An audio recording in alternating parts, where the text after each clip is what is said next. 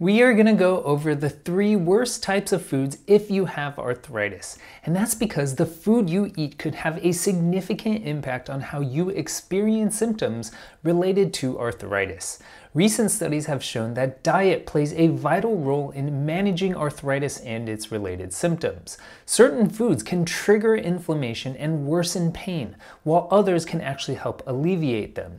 So in this video, we are not only going to discuss the three worst types of foods for arthritis, but I'll also highlight foods that may offer relief. Hey everyone, Dr. Jeff Peng here. Food number one on our list is processed and fried foods. These mouth-watering guilty pleasures can wreak havoc on our joints. Processed foods often contain high levels of unhealthy fats, trans fats, and refined carbohydrates. These ingredients not only contribute to weight gain, but also promote inflammation in the body, which can exacerbate arthritis symptoms. Common processed foods include sugary breakfast cereals, frozen pizzas, packaged snacks, and instant noodles. Similarly, fried foods are cooked in unhealthy fats and oils that not only add unnecessary calories but also trigger inflammation. This leads to increased joint pain and discomfort. Potato chips, chicken nuggets, french fries, all of these are tasty at the moment, but the negative effects on your body can leave you regretting it later. All of these effects are consistent with what a recent clinical study found. They looked at whether metabolic syndrome severity score predicts worse arthritis. Metabolic syndrome is a cluster of conditions including abdominal obesity, high triglycerides, abnormal cholesterols, high blood sugars, and high blood pressure. The researchers report that People with higher metabolic syndrome severity have worse progression of osteoarthritis as defined by worse bone spurring, worse bone marrow lesions, and worse defects in their cartilage. All of this indicates worse progression of arthritis and worse arthritis symptoms. So to manage your arthritis effectively, it's crucial to limit or avoid processed and fried foods as much as possible. Instead, opt for whole, unprocessed foods like fruits, vegetables, whole grains, and lean proteins. All of these can provide essential nutrients without the added inflammatory component. Remember, every small step you take in making healthier food choices can make a big difference in managing your arthritis symptoms. So food type number two is right up there with processed and fried foods, and that's sugar or high glycemic index foods. Sweet treats are hard to resist, but all of that excess sugar intake can trigger inflammatory responses in the body. High sugar consumption promotes the production of pro-inflammatory cytokines, which can worsen arthritis symptoms. This cohort study looked to examine the longitudinal relationship between blood glucose levels and knee symptoms related to arthritis.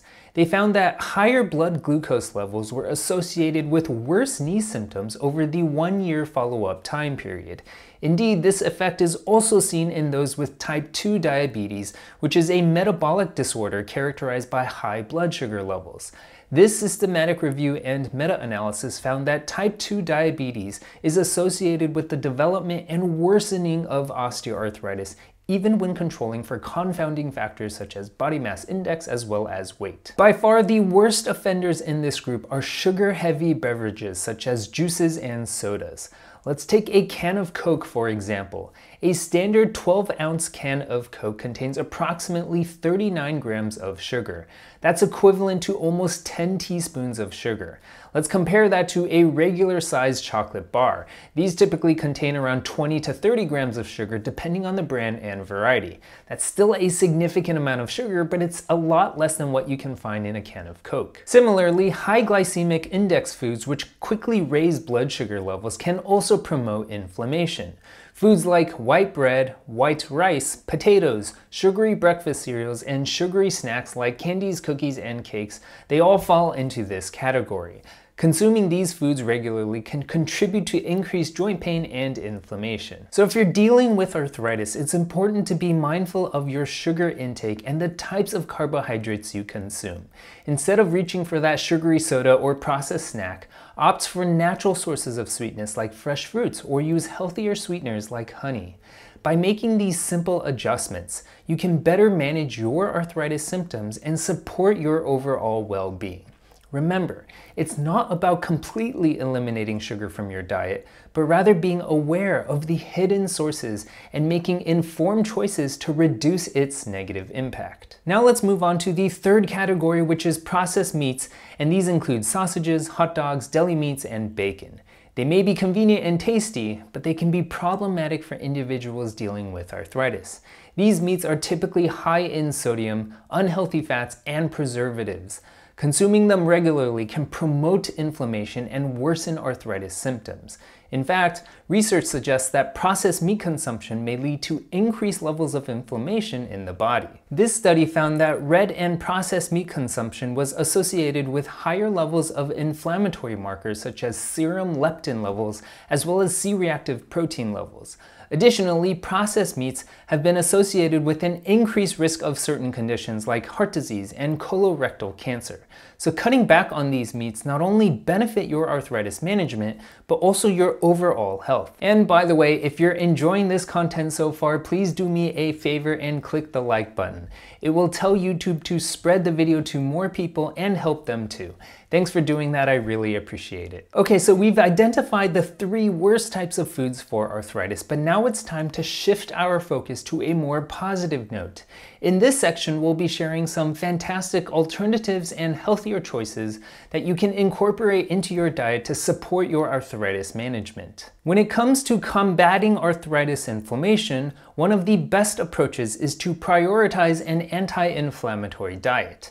This means filling your plate with foods that have been shown to reduce inflammation and promote joint health. Let's start with fruits and vegetables. These colorful wonders are packed with antioxidants, vitamins, and minerals that can help combat inflammation.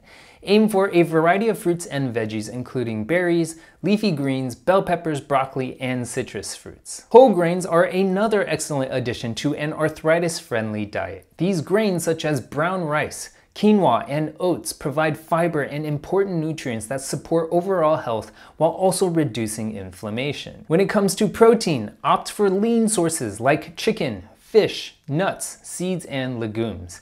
These alternatives provide essential nutrients without the added unhealthy fats and inflammatory properties found in processed meats. Healthy fats, such as those found in avocados, olive oil, and fatty fish like salmon, are also beneficial for managing arthritis.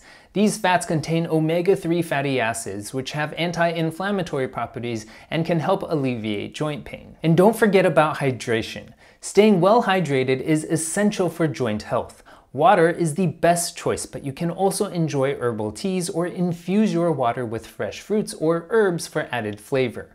By incorporating these wholesome anti-inflammatory foods into your daily meals, you'll be providing your body with the nourishment that it needs to manage arthritis symptoms more effectively. It's important to point out that while diet alone may not cure arthritis, it can significantly impact symptom severity and overall quality of life. Remember, the best way to manage arthritis is by taking a multimodal approach. This next video will help you learn about all my other most recommended treatment options for arthritis. Thanks for watching and I'll see you in the next video.